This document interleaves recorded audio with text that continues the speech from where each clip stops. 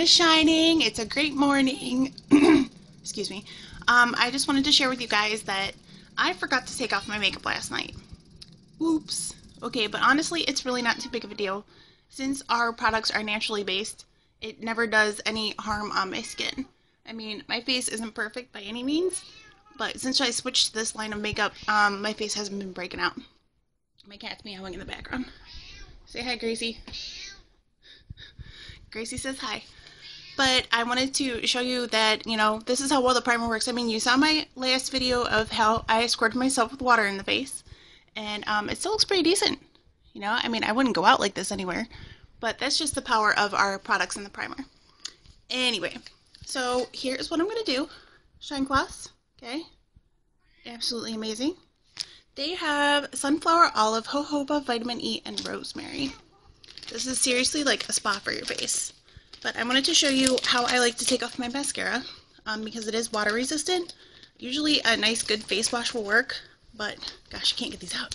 A face wash will work, but I prefer these because they make your skin feel amazing. They leave your skin feeling soft and hydrated. So I just want to take a quick minute to show you. So this is what they look like. They're nice and big. But here we go. See? A Couple swipes. And all the eyeshadow is gone. And if I keep going, my mascara will soon be gone. Like I said, you can remove this with your cleanser. But really, I find that this leaves your face feeling really nice and clean. Um, they have a very light scent just from the ingredients that are in there and they work wonderfully. Pardon the silly faces I make, I know it's crazy. That's our shine cloths.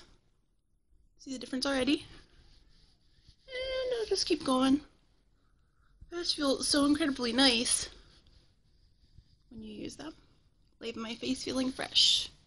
So, for all you gals who think that I have flawless skin, and uh, people say it all the time oh, Sandra, your skin is so nice. No, it's really not. I have blemishes, I have redness. Just like everybody else does. I just have awesome products that happen to cover them up well. So, that's what I look like without any makeup on. Yesterday's makeup, not perfect, but still looks decent and what my face normally looks like. Okay? So, if you ladies need help as far as color matching foundations or you want my recommendations for products that are going to help with whatever skin issues you may have, please feel free to message me. Not enough coffee. Please feel free to message me. Okay, guys?